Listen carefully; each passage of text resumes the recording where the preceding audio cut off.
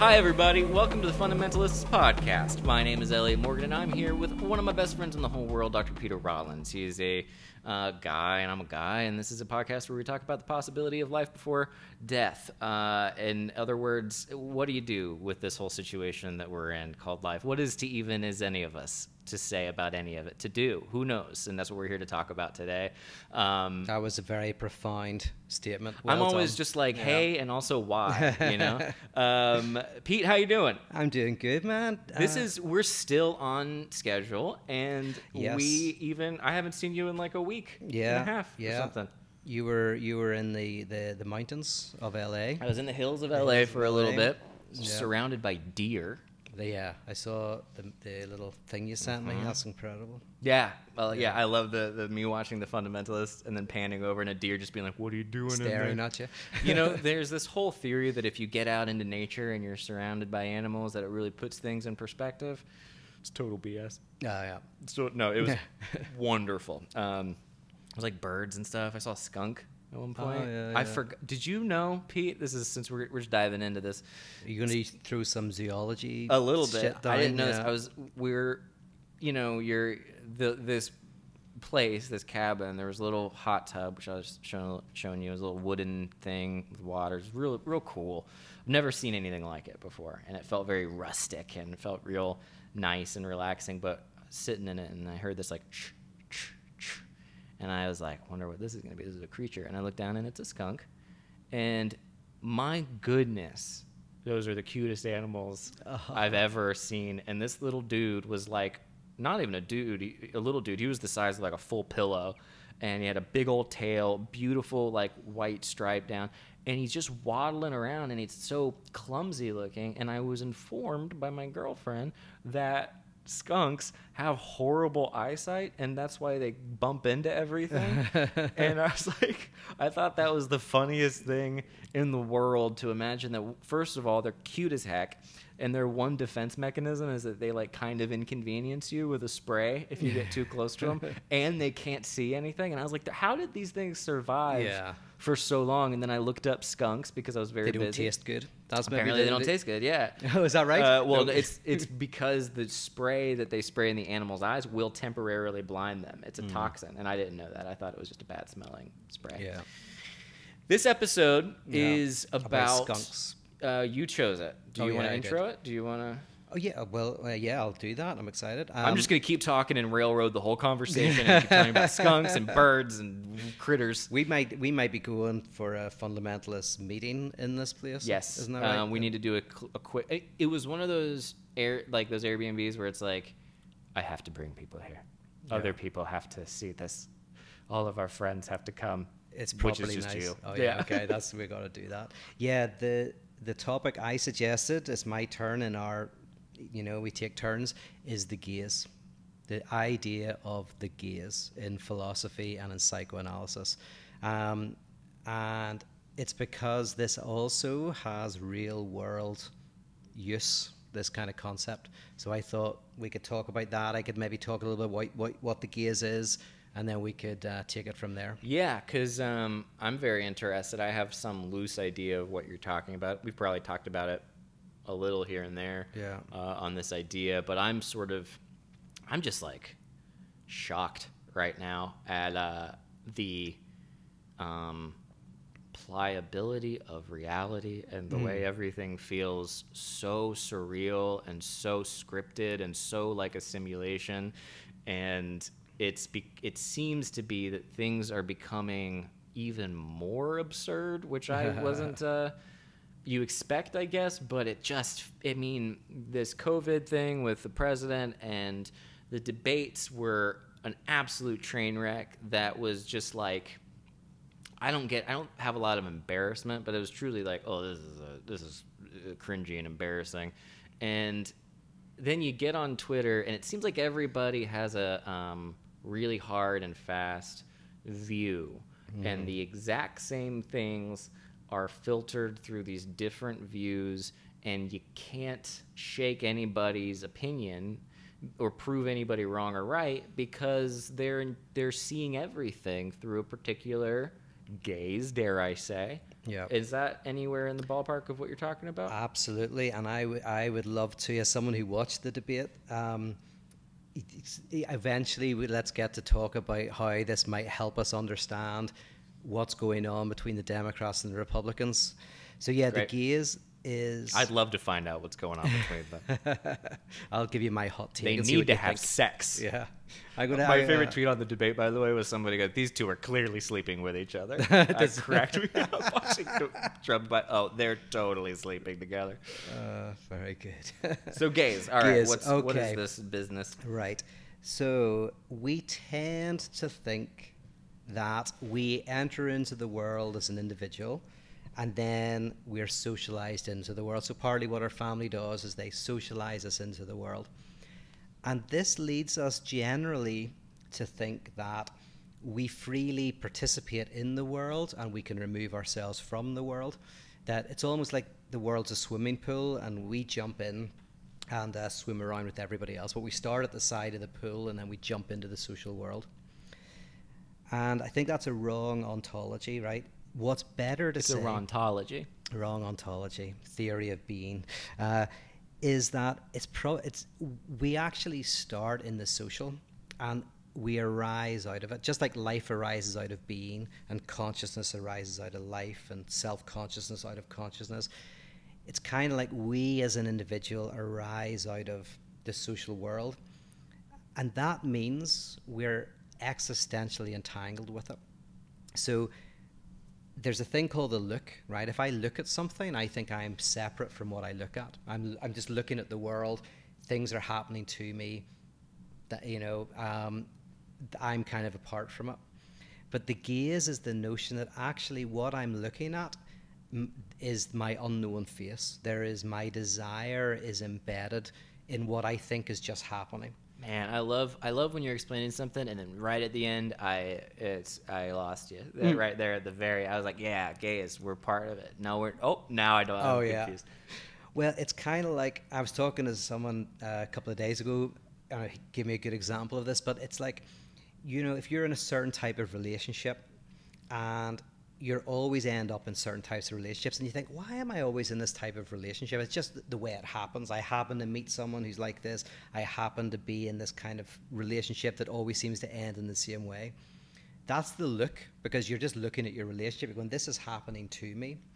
The gaze is when you go, oh my goodness, I'm entangled in this. Mm-hmm. I think I'm replaying something from my past. What's going on here has I'm involved in it.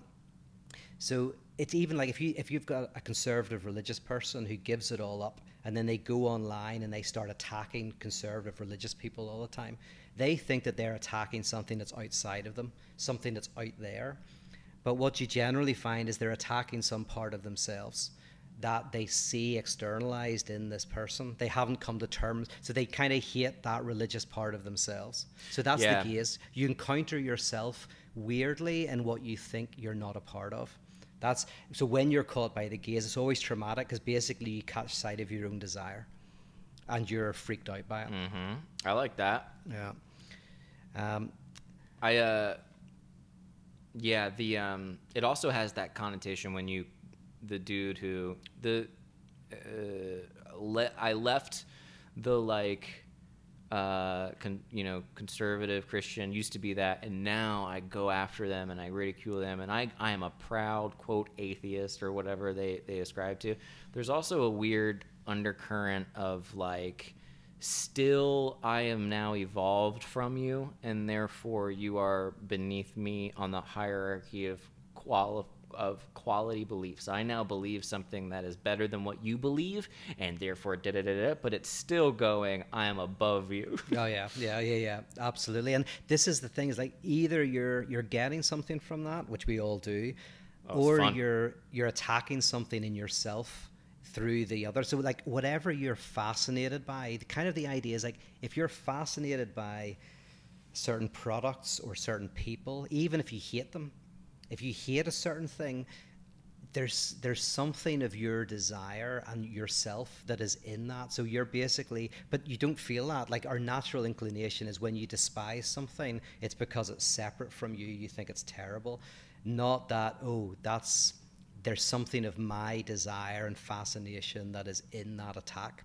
Yeah. So the gaze is really the, the psychoanalytic name for when you realize that you're entangled with the problems that you think are just happening to you.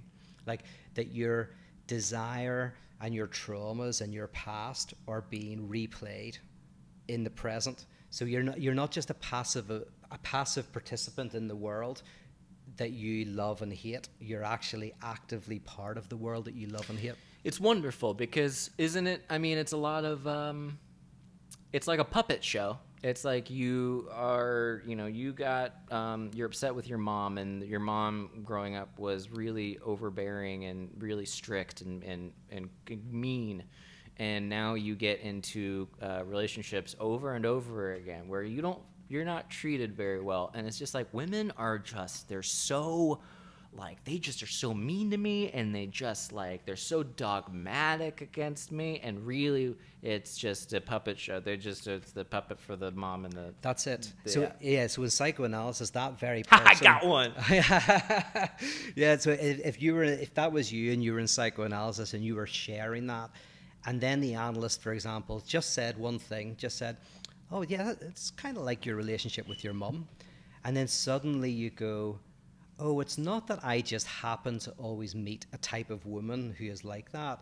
It's that I look for them, and actually, even if they're not like that, I, I push them until they are. So there, there's a joke that um, Alenka, there's a philosopher called Alenka Zupančič, and she uses this book, or this joke in her book.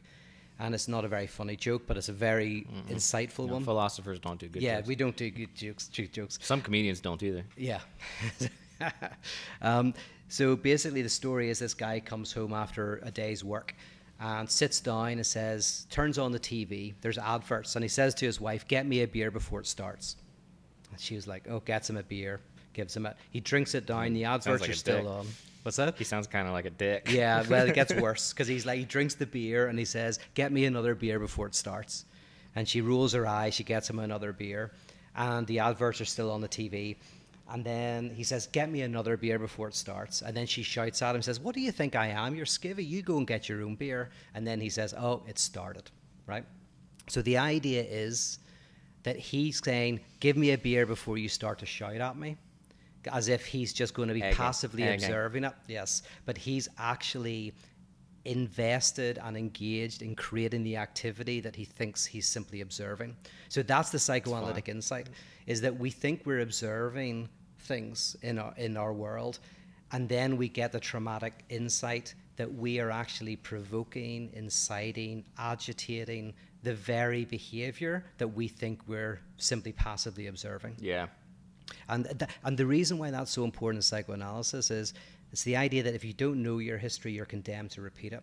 Like you kind of have to get a sense of seeing yourself in the activities you're engaged in in order to begin to change them. If you don't know, you're going to continue to repeat your trauma, um, and you're going to you're going to continue to think that you're a passive uh, passenger in it rather than somehow in, invested in it in some complex way.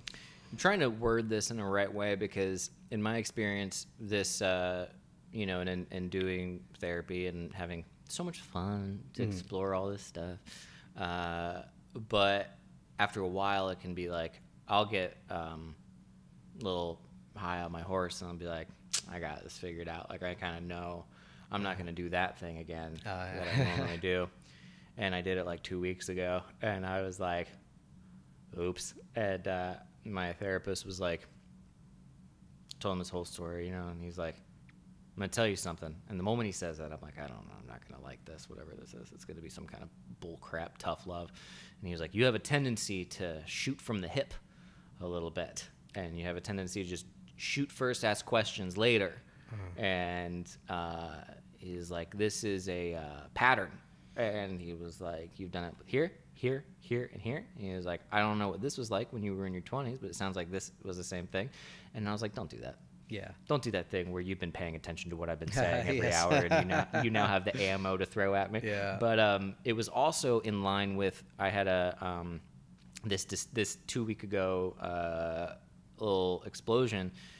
I had a dream um, about it beforehand, and I had a uh, uh, very very startling dream, and I I've discovered that I tend to have one particular type of recurring dream now, which is a plane crash dream. I have had so many plane crash dreams. Mm. I'm pretty sure that if I ever go down in a plane crash, um, I'm gonna be like, all right. Like I Yeah, kind I I've knew been- this was I've happening. done this so much, dude. In, God was trying to tell me, don't get on a plane. in and I my yeah, it. in my yeah, in my dream, I was uh, as the plane started going down, the whole roof of the plane ripped off, and it I the plane, uh, which for some reason I always just like, even on planes when I'm flying, I don't have a fear of flying, but I always like.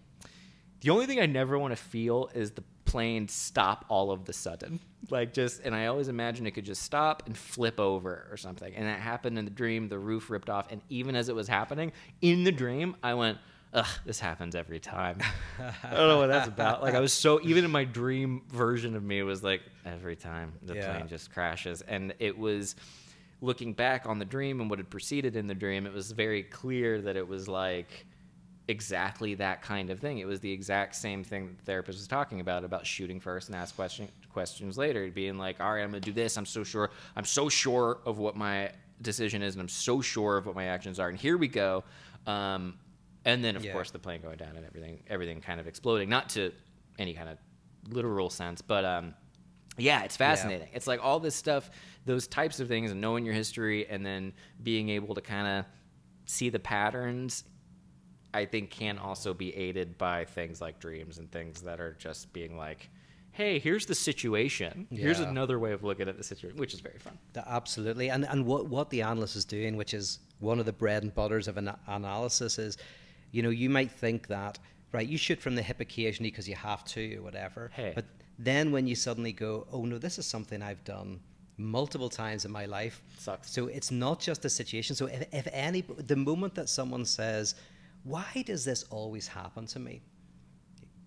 Especially Then- in the dream.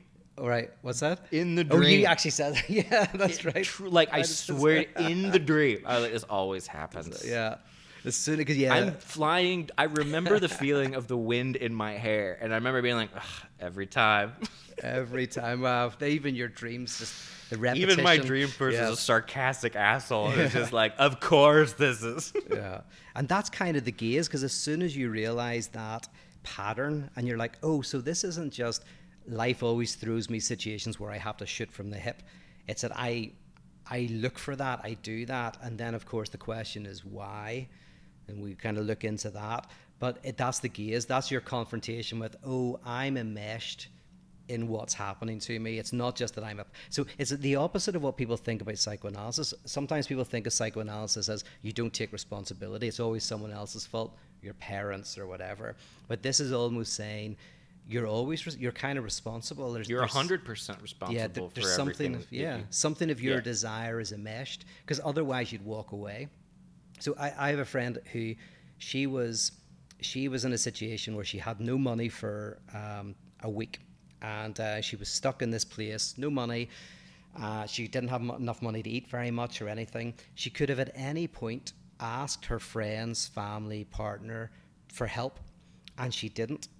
And she stayed in this situation. And what came out afterwards was it was because this was a replaying of something that was in her childhood. So, in a weird sense, it was literally happening to her. She had this situation where she didn't have money for a week, she was stuck. But because she was replaying something from her past, she didn't see a way out. Yeah. She didn't see a way, and there were there were ways out. Um, and so it was like, oh, I even though this is passively happening to me, there's something of a trauma that is being repeated that I'm Mhm. allowing Just to be doing repeated over and over. Yeah, That's all life is. It's just uh, when you're eight years old, something happens, and then you just keep going through that play over and over. Mm. just yeah, just do it you again. switch out the actors, but the script stays the same, baby. Yeah. Yeah, it's very fascinating. Also, I mean, I'd be curious to know more about that, but I mean, I was always broke when I was a child. I, I mean, when I, when I was seven, I went through whole years without any money. At any all. money at all. So just crazy. handouts once a week Handouts from your a week. parents. Yeah, five bucks it's a week. humiliating as well. Like you know. Oh, it's degrading. Yeah. Yeah. that explains a lot, actually. Allowances, yeah, there's a lot to explore there. Okay, so Yeah. what does this have to do with with um, our current situations and our debates and our politics and our unless you still have more to go? No, no, no. I want to get into. Can I give you a theory and see what you think? Right. Great. I'm going to say this as I want to. I want to do some caveats here. As someone who's outside of America, I've lived here for a while. I love living here, but no, I, I don't get involved in party politics. I'm not as uh, a supporter of the Democratic or Republican parties. Um, I do do politics in Northern Ireland. I was involved in peace and reconciliation, but not party politics. So, so here's an analysis. See what you think, because this is about the gaze. This will this will come around to the gaze. All right. So, and this could get us cancelled. Heck yeah, man. Yeah. The, the good thing about this is Try I'm going to piss everybody off. Right. Great. I'm going to piss everybody off. Oh, I'm very excited. So as not to piss anybody off, it's good to piss everybody off. Yeah. Right. So here, when I was watching it, and I was watching this back and forth between Trump and Biden. Yeah. Right. I was thinking, okay, what what is the gaze? What's going on here? And here's the here's the thought. Right. If you're a Republican, right, and the, we'll take the ex, an extreme subgroup of Republicans, but it kind of this idea dissipates in a diluted form among many. But you have a feeling that the existential threat to America is a kind of licentiousness, a type of um, I've been drinking licentiousness, yeah, a type of hedonism and a type of uh, no. So it comes on Lysation. I thought you were talking about the the process by which a cell's skin bursts. Licentiousness. That's the word I'm Okay. trying to say. I said it wrong. Licentious. uh, We'll have to edit that out. I shouldn't be drinking Definitely. gin. We're going to heavily edit this one. This is the one. yeah. This is the one we really go through with a fine tooth comb. Yes. Oh, yeah. God, yeah. Um, so there is a sense, I think, for some that the existential threat to America is, um, and you'll hear the terms, obviously. Um, uh, what's it? Sex, uh, sex trafficking, pedophilia, Satanism. Yeah, right? weird obsession, right? What's that? They, they, they all got a weird obsession with that stuff. Yeah. Ain't that weird? Well, no, and here's my interest in it, right? So I, and here, this is where I go no for or against. I'm just going to analyze, and then I want you to tell me. Oh, yeah. what you think, Get, go right? into cancel territory and then Yeah. throw your hands up. Yeah. Sure. Leave me out Yeah. here.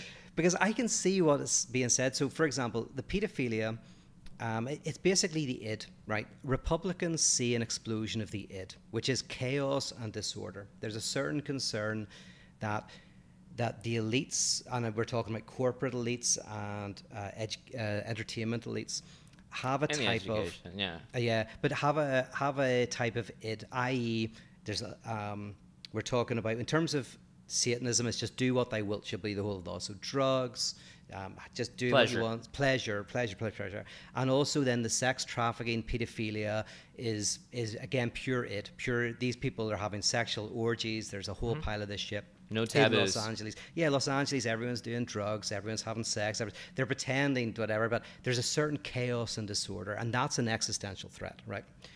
Now, I love this. I love everything you're saying. So it's fascinating. right. It's so well, fun. you know what you're going to like about this is this almost sounds like a Jungian analysis, but you'll like, you know, so we can come into that. So I'm being very quiet about that. yeah, there's the Republicans are afraid of a certain chaos and disorder or explosion of the id. That's an existential threat. Now then, the Democrats don't see that.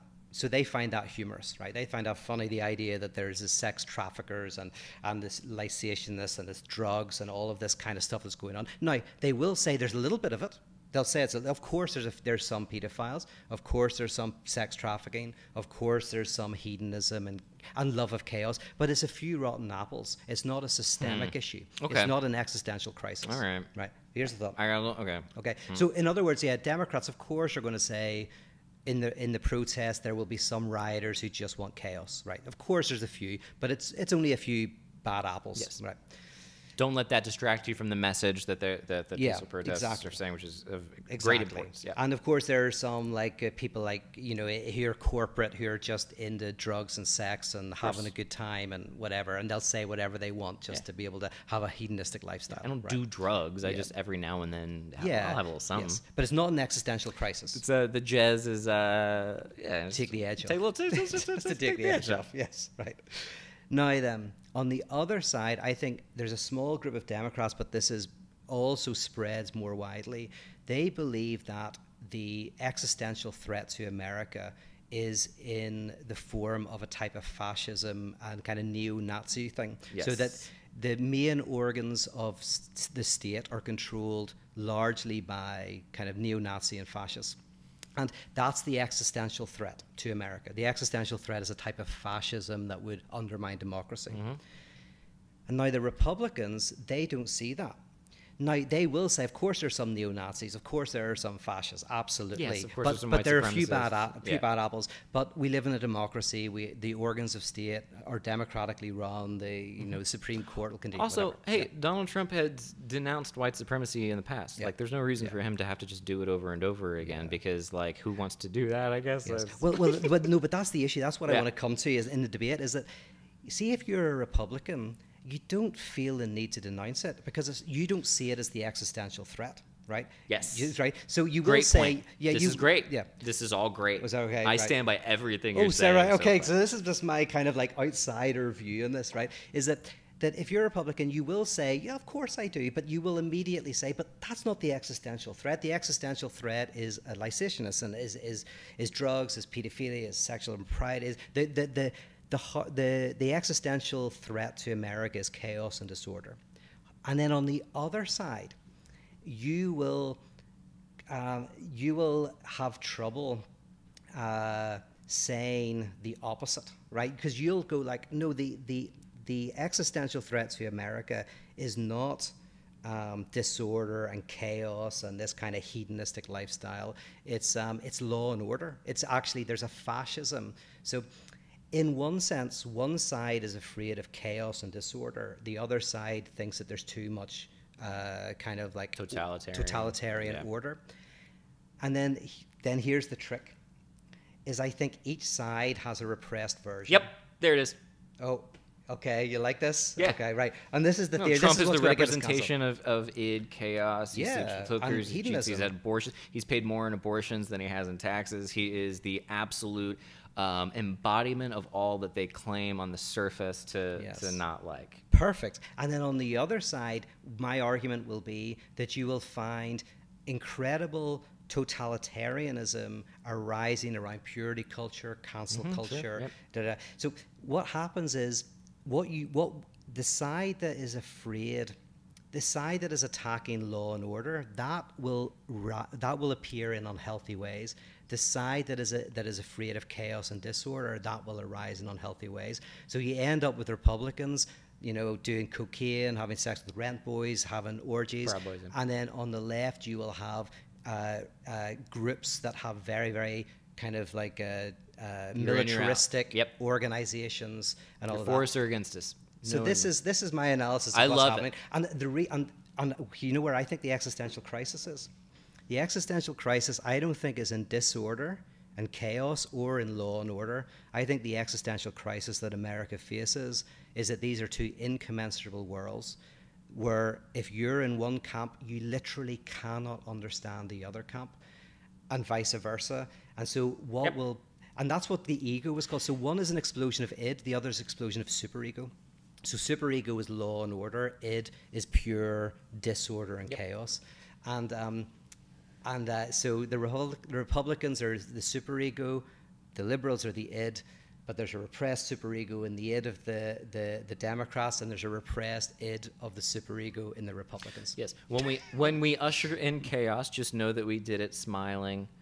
Cannibals on this island, inmates run the asylum. That's a, a poem from Killer Mike of Run the Jewels. Uh, but it's uh, the song Ooh La La that they did in two- 2019 or whatever. The music video is weirdly um, relevant to today's situation. It, it was all filmed prior to the, the protests and stuff, but it's it's all very wonderful. Yeah, but the uh, I love all that stuff, man. I feel like everything I need to know about politics, I learned as a kid with the abortion debate. That's everything you need to know. Uh, The it is a perfect microcosm of how there is such a stalemate in the ability to communicate because anybody who is against abortion, I've never heard a single person being, and the people who I know who are devoutly pro-life are not sexist against uh, uh, women in my experience, or at least they do not see that themselves that way.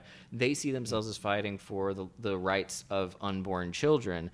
The people on the left who are pro-choice are like, oh no, you're against you're against women, and then Yeah. the pro-life people on the right are like, you're against babies. Yeah. you don't even like life, and it's like. You can't get anywhere with that argument. You know where I think you can unify everybody? Here's my theory. If That I was in suck? control, Success, yeah. Well, my, my theory for how to unify people is you have a third person who goes, "I believe that that pe- people are people from conception, and I don't give a fuck. Just kill them anyway." Because both Yeah. sides will agree that that person's an asshole, and Yeah. then and then you'll you'll unify everybody you on the hatred of the third. we need a scapegoat. so there's there's my solution. We have to set up. Maybe we should be that. That should be our political position. I know. Oh yeah, definitely. Unborn fetuses are people. Yep. And we don't give a shit. I've heard that said. Oh, is that right? Like non-ironically Oh, from yeah. uh, from people on the left, like yeah, it's, yeah, yeah, we're just cool with it. And I'm like, all right, that's not.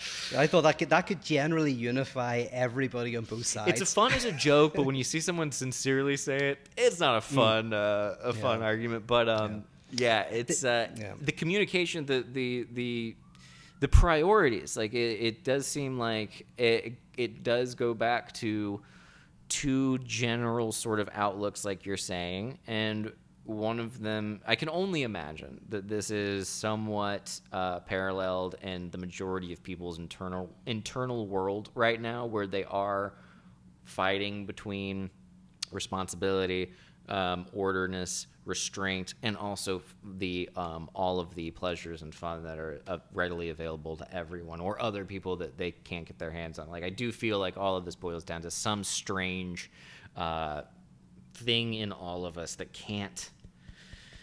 I wish there was some sort of worldview that would make sense of this, like psychoanalysis. uh, yeah, yeah. If only. where contradiction was at the heart of these things and you had to exist within i don't know i don't know i'm spitballing but uh, yeah i love everything you just said i think it's it's great because in, in my watching the debate for one it is so um you know seeing trump behave the way he did was to me surprising honestly and I, because i'm pretty i guess easily surprised but it was so almost basic it was so sadly um he showed his hand right away. Like he showed his in, in terms of the debate, he was like, "This is my method. I'm just gonna I'm gonna steamroll you."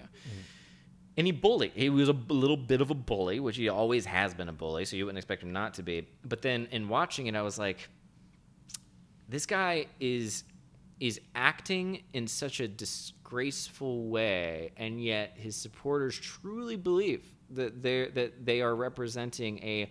moral, conservative, orderly, peaceful, like. I think both sides are like both sides think there's an existential crisis. They do. Like now, Joe Biden doesn't represent that, you know, as strongly on the Democratic side, but I think both sides think there's an existential crisis. Mm-hmm. Yeah. Yeah. Right. And and and and yeah, that's what you're seeing is that this is a.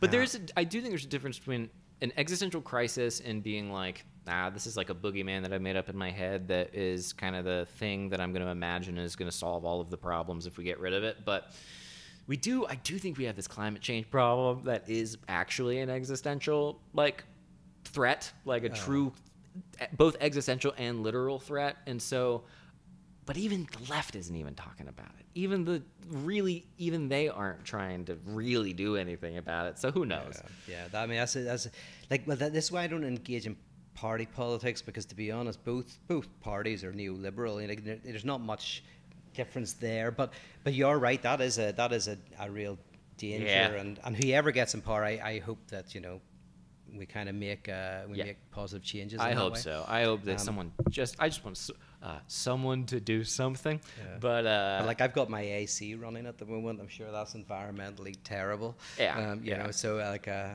well, if we want to play the hypocrite game, yeah. I'll win for Yeah. sure. But But you, you know, here's the interesting thing, right? Right, in you, you mentioned psychoanalysis, like in the very basic psychoanalytic model, you have id and superego, and that's that's kind of what I did here. Is Yeah. I kind of put id as in chaos and disorder. Not that that's the Democratic Party. That's the fear of the Republican Party. That's the gaze that they see. And then on the other side, superego, which is law and order. The ego is what erupts to manage the contradiction between id and superego. And so my hope is like I don't think I don't think um, I, I don't think whoever wins, I you know, it, it won't af- it won't affect the contradiction. What we need is the rising of some group that become like the ego that somehow are able to manage this this incommensurable contradiction that currently exists in America, and I don't see it yet. Andrew Yang. What's up? I mean, I, I I like Andrew Yang. All right. Um, I like anyone who who sounds like a human when they talk, and also is smart b- and seems like a good person. But um, It also might not be. I don't think it'll be in party politics, but I've got a feeling that might be something completely outside of everything. what do you mean? Oh, you mean like in an even bigger way? You mean? I think I mean I'm talking about an apostle Paul.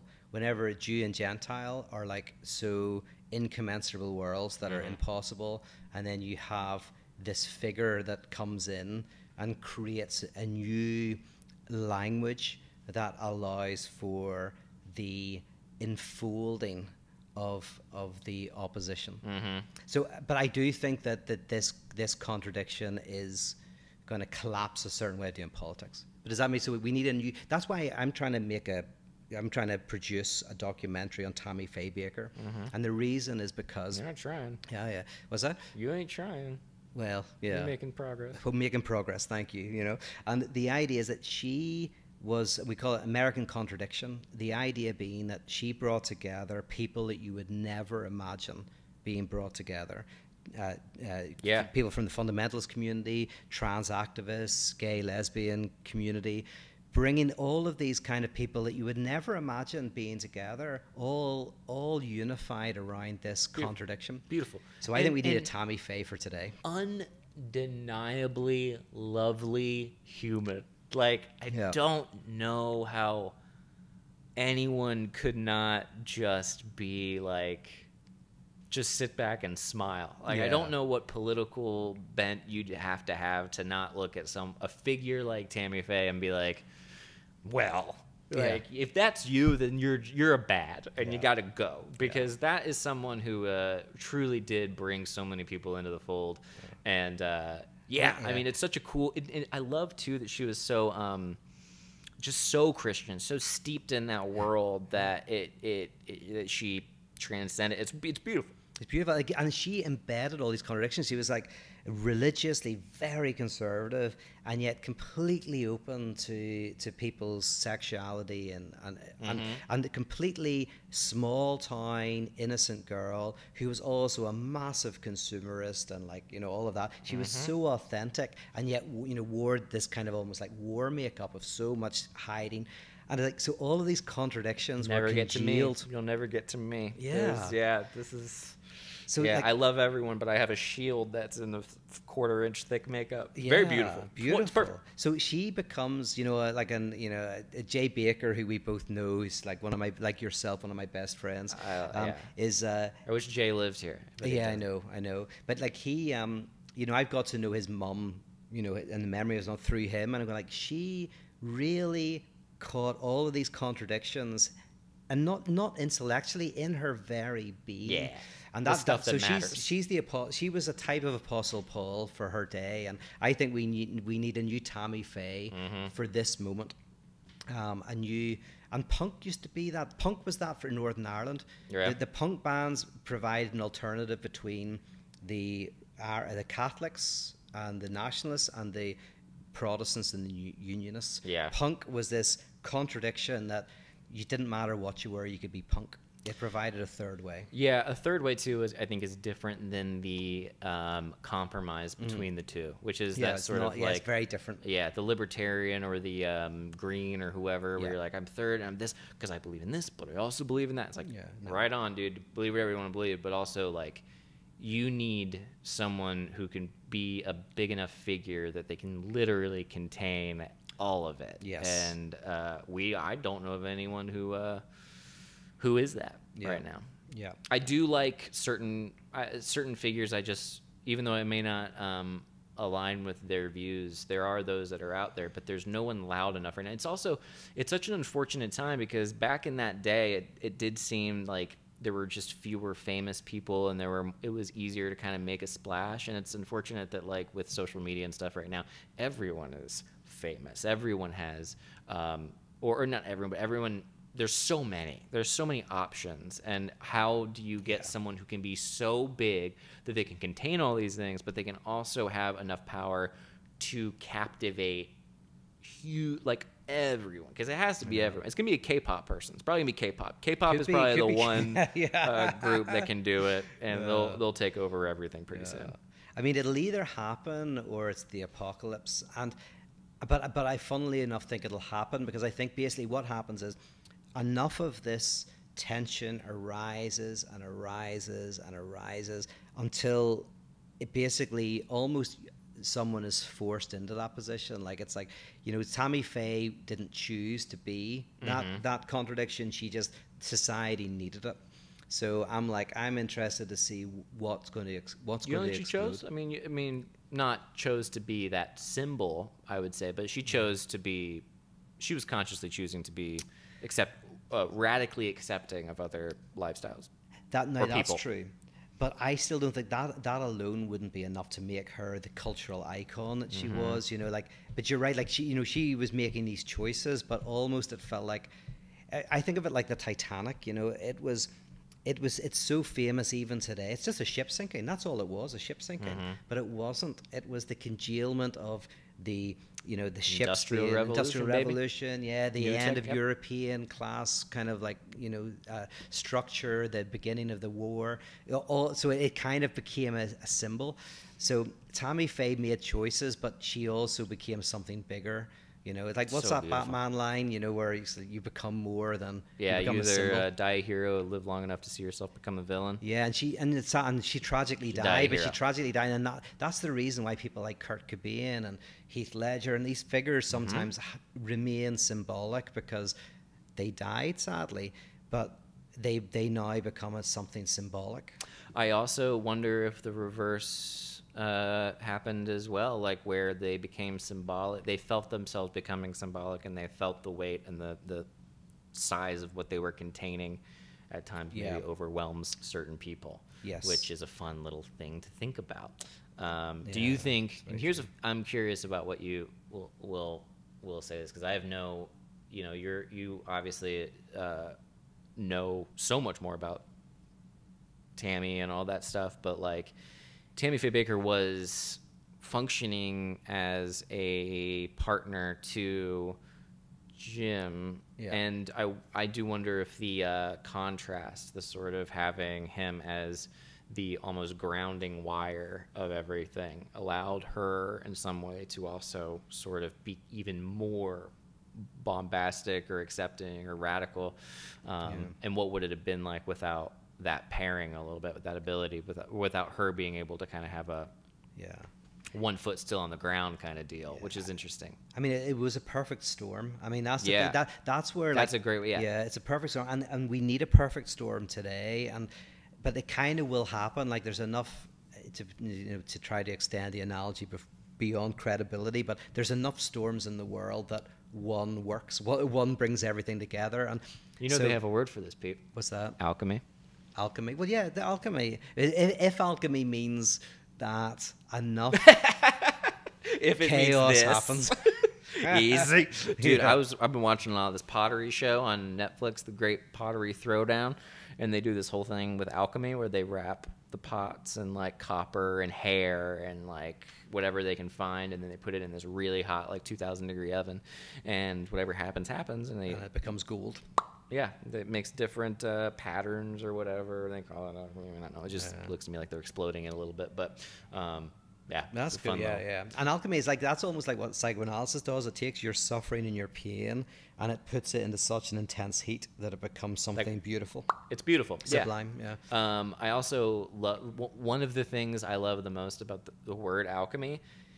Truly, I have absolutely no idea what it is. I just know that it's. I know how it's been described. I know it's like this puts together with this, which puts together with this, and then something completely new arises. So I know mm-hmm. about it on a metaphorical level. But I don't know. Growing up, I always thought alchemy was like something with like mad scientists in labs who were like concocting witches' brews or something. I mean, that's where like this is where the funny thing is, all of the cool stuff originates from something mental, and that's why, that's why like people we Tammy in- Faye. Yeah, because in philosophy, you kind of like yes, the first theories are always a bit crazy, but there's always some deep truth in them. So yeah, the first alchemists were trying to like literally change the elements through kind of crazy experimentation, but actually there's a truth to that. We say we can change our suffering into something good. We can. There is a type of alchemy that we need. Yeah, I love it. But I thought you might like. I was wondering. This is why I wanted to do this this this gaze thing because I thought you might like this analysis Uh-huh. of the, I the love it. Republicans and the Democrats because it it plays into order order and chaos, id, superego, and repressed, and the return of the repressed, and uh, I mean, it's like a lit, it, a, a perfect um, blueprint for the idea of a like repressed id or shadow or whatever. Yeah. You see, the Jungians Man- would go, "Oh, this is like anima animus. This is like uh, this is like the the unconscious as the uh, the uh, the Right. the uh, the balancing of the The conscious." So balance, I- yes. The yeah. the compensation. Obviously, I don't the- go for that shit. Sure, sure, but it's weird how it keeps happening. But anyway, uh, no, but it, it whatever word, it is so fascinating that the thing, the values and the things that both sides are espousing do seem to. I mean, mm. even like like one of my favorite type i think of of liberal left person is the uh, is like a killer mike a run the jewels type of pair Yeah. that they're fun they're You got me listening to his al. I think I listened to one of his albums. It was very I, good. I don't feel like I've hooked you yet, though. I haven't still heard, trying to but, hook you. but I did like it. But I need to listen to more. I Yeah. I don't listen to much music to be I honest. think so- they're they've changed my life. I love them more than anything. But they have a sense of humor about themselves. They are um, so like a little anarchist and a little like whatever with all that stuff. But then you look at like the nominee for the Democratic Party and a lot of current Democrats that are in power, and you're like, ah, like it's not like that's not that, you know. Like I like that version of of left liberal Democrat. Like I like the ones that are like, yeah, sometimes we get drunk and we do drugs, and sometimes we we party a little bit too hard, and mm-hmm. sometimes we even know we're being a little hypocritical in what we're saying. And hey, you know what? You're welcome to the party. What like I love all that mm-hmm. stuff. Like everything's a go.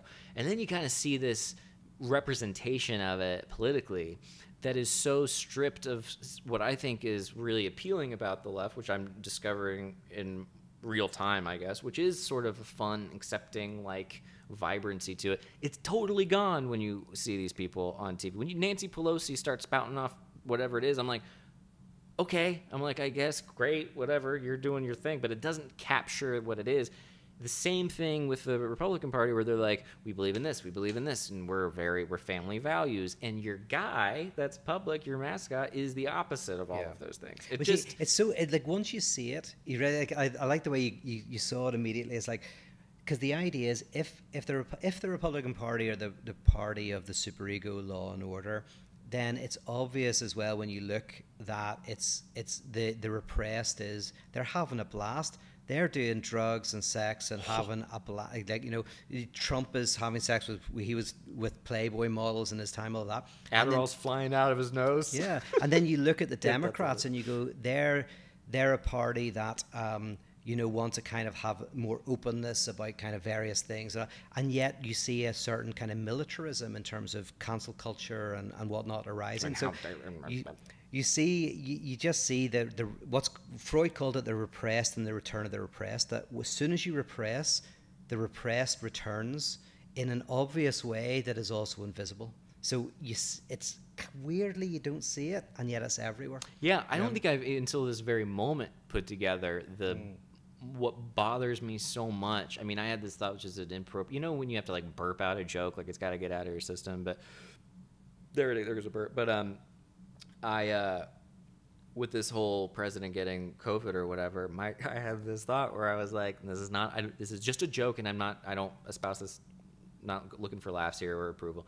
But um, If you're looking for laughs, man, you're sorely Oh, God, disappointed. tell me. this year. Uh, but it was like uh, my thought was the, the left is so bad at winning that they needed coronavirus to help a little bit, which is not appropriate and it's very offensive. Whatever you burp it out, uh huh, get it out of your system. But um, I look at the left sometimes and I'm like, you you boring. And then I go listen to Run the Jewels, and I get you know, and I listen to people, uh, speakers, and like people who are doing writing and really good writing on the subjects that I'm interested in, and political commentators, and I'm like, this is all really cool. Why are the politicians so like?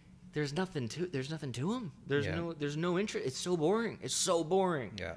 No wonder they're not getting votes because of you're boring. Yeah, and isn't it funny, right? That if you if you look at the the Democrats, and I'm avoiding right and left because you know I'm a leftist but not a Democrat, and so I don't like to use the word left for any of this. But um, the Democrats, in one sense, are all pro sex work, trans rights, gay rights, all of this stuff. But you kind of get the feeling There that it it's yeah. all a bit boring and you have to make sure you say the right thing. Whereas the conservatives all seem to be law and order about this right and wrong and what's good and bad. But you kind of get the feeling they're having the best That sex. care, yeah. Right? You're kind of Well, having I the don't know about that. well, I don't know, man. Honestly, I, I would say that you know, so like the, that's why that's why there's always more. Um, uh, what's the word? Uh, scandals on the right. You know, where you Yeah. find out that this person uh, has been like you know injecting heroin into his eyeball and doing all this stuff. So Oh, it's it's not hundred percent, but it is just funny when you start to look at it. You start to go, oh yeah, that that the gaze is that the very thing that you're attacking. So, for example, if you're if you're Republican and you're attacking the, and I, I can't say the word right. This is brilliant. I've said the word wrong every single time. Licentiousness. I thought you were saying I can't say the word right. okay. like I can't. Like you didn't even law want and to say order. I don't want to say right, law and order. Conservative. yeah, yeah. yeah, that's right. No, Um, I can't say the word. Uh, stand, stand by, stand back, stand by. Uh, uh, Uh, I've been tripping over licentiousness By so much. Yeah. um, oh, good. yeah, because that's a crazy word. But uh, did you did you watch the clip of him saying "stand by"? Oh stand yeah, back? stand, yeah, stand by him. That was a weird moment, man. Yeah, yeah. That was weird.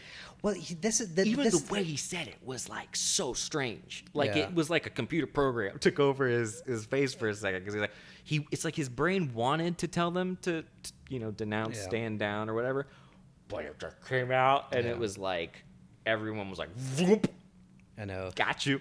I honestly think there is a sense in which both sides find it hard to acknowledge the big other of the other side. So I, so I mean, Proud Boys is another is another thing we could talk about. That Proud Boys are that's, that's an interesting topic. I know because but- that's a whole thing where I'm like, don't even bring them up. They don't deserve the PR. It's just a bunch of dorks being trolls, and then they became whatever they it's are kind of, yeah, they started off as a trolling Yeah. kind of bunch. Um, but yeah, like in the same way that Trump found it hard because he literally doesn't think that the the fascism is an existential crisis.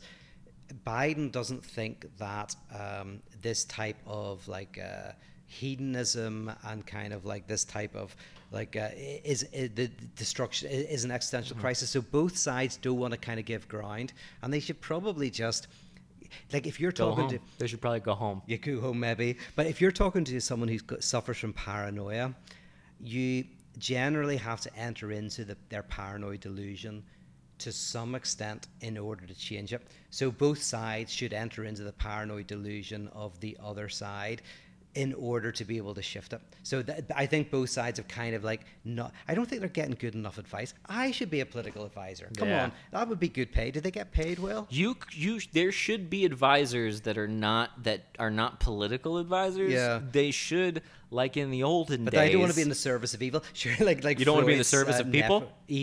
Mm. evil, people. I hear what I want to hear. Yeah, that's a Freudian here. Uh, yeah, uh, they should like in the olden days just bring in damn it someone who's smart to talk to people. like you don't have you could walk in and be like, "Have you guys ever thought that maybe you're sort of a representation of all that you don't stand for?" and just see what happens. Oh, yeah, see. It couldn't hurt.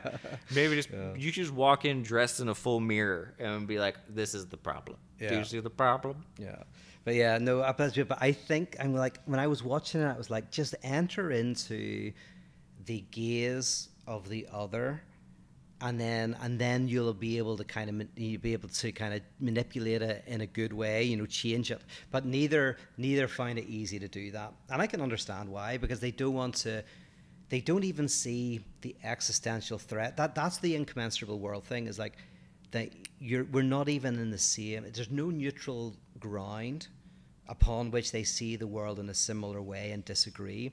They literally see the world in fundamentally different ways, Yeah. which means that they're not even speaking, in some respects, the same language. Not at all. That's what Yeah. it comes back to. Yeah, Yeah. they really aren't. Um, and um, yeah, and that for me is the existential crisis. yeah, absolutely, and because it, it, it, will explode. Mm-hmm. There's no way it can't. Keep, it's an unstoppable force, a movable object type Yeah. of situation. It's crazy. Yeah. Um, I but what was I thinking? I had a thought about something.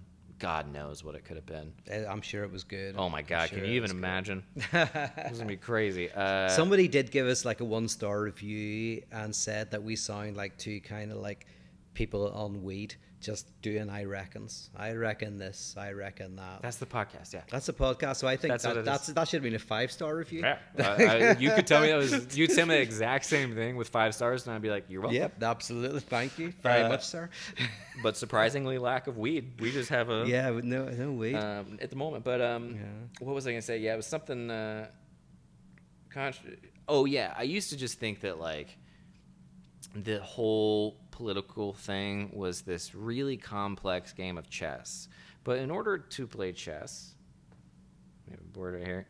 My understanding is that you have to As someone who's only ever played drafts. basically uh, you have to enter into the mindset of what your opponent is going to do you have to imagine that you're the opponent and what you're they're going to do and then what you're going to do and then what they're going to do because of what you think you're going to do because of what you think they're going to do right now it's just a screaming fit like Yeah. the politics uh, there's no it's like it's not even engaging really from my from what i can tell on any kind of clever level which is what i think is is happening some with some sects right now of pol- politics on both sides that are like they're going to do this and they're going to do this and then this is going to happen and they have this grand plan and i he- hear both sides doing that and i'm like watch that debate and, and honestly tell me that there's some grand plan on either side because neither of them even are interested in winning the game of chess through strategy through through um, achieving anything. It's literally scream response scream response like it's crazy. Yeah, I know.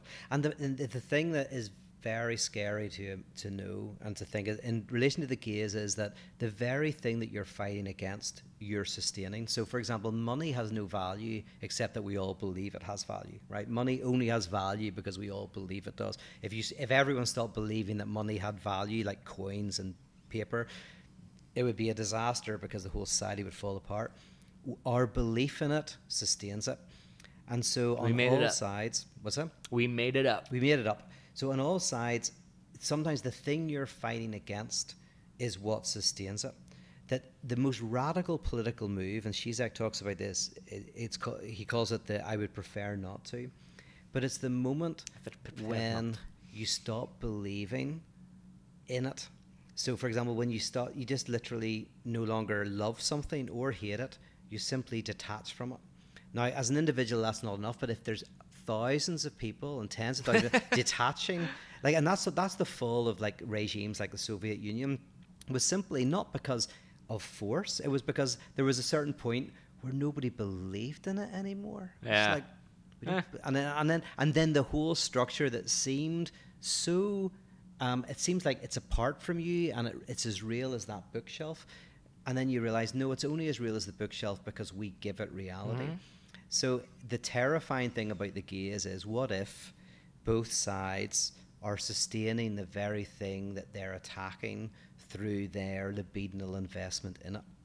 And that actually what we need is some is some movement to come up that that that utterly changes the very coordinates of the debate. Yeah, I know I get something out of all these these dramas and these headlines and, and everything that's just very libidinal, I guess is the perfect word because it's just like it feels so good. You're Yeah. Like, oh, did you hear about this? Let's uh, this is crazy. Did you hear about this? About oh he's got COVID now? When he did it in ten days ago, he was saying this. Oh my god, oh my goodness, can you even believe it? And you're like, I could just ignore all of this, but I do it because not because I think I'm right and I'm I'm appalled on a moral or ethical level. It's not like I'm grasping at my pearls. On some level, I'm going, give me it, give me something to get and it's because at." you grew up here, like you're American. Like I, if, if this is the I like to say it like this because Northern Ireland's a tiny place, right? But in Northern Ireland, it, when growing up there in the midst of the troubles, it was like that was everything. That was a massive conflict between Catholics and Protestants. If you came to Ireland, you'd be like, what is this about? Who cares? Right? Yeah. Yeah. So in the same way, and you're drawn in more, and I feel drawn in because I've lived here for eight years on and off. But it's it is easier for me to kind of also try not to get drawn in. Yeah. But how can you not? Because you grew up in this country. I know, but you're doing a great job because you're no fun to text these things to. I know. You really are. Sorry. You're so boring with it because you don't care, and I'm like, Pete doesn't care, but I don't have anybody else to skirt to vomit this crap at. So, Did you see Pete? And you're like, oh, that's crazy. Anyway, what do you want to do? Uh, it's very fun. It's maybe a very healthy thing. Um, all right. Well, what do you say we? Yeah, that was fun. Um, uh, hopefully, we, will we be cancelled for this? Yeah, whatever. How? Well, yeah, Uh, but we we're not really getting paid for this anyway. I'm pretty upset about that one star review. I'll tell you that. So Yeah. if you guys could leave us some five star reviews, you can tell us we're canceling it. it's yeah, fine. you can say anything you want. Terrible, just give us the five stars Uh, when you it's say all it. fun Yeah. ways of looking at things, and you see the irony. And it's uh, at the end of the day, I do think we have an, a at our core with what we do with the podcast. There is a desire to invite everyone in to uh, the conversation in a way that doesn't make anybody a scapegoat. That is the entire problem. And you know what? I'm I- I'm yeah. worse about that than you are. You're much better about being like. Every this is all whatever. I'm getting there, but it takes a little bit of time. I can. But I it. believe in this, and I got a bit depressed to be honest because I looked at some podcasts recently and saw saw how popular they were and didn't think they were very good. And I was I like, know. no, we have to do this. We have to keep going, and you know, so All right. Well, this That's is our the- I- season finale, everybody. We'll see you in three months. yeah. Every time we say we're going to keep going, that's when we stop. So I know. I'm like, don't talk about that. Yeah, No, we're, we got a good yeah, thing yeah. going right now, Pete. We've done like four in a row. All right. Bye, everybody. Thank you. Bye bye.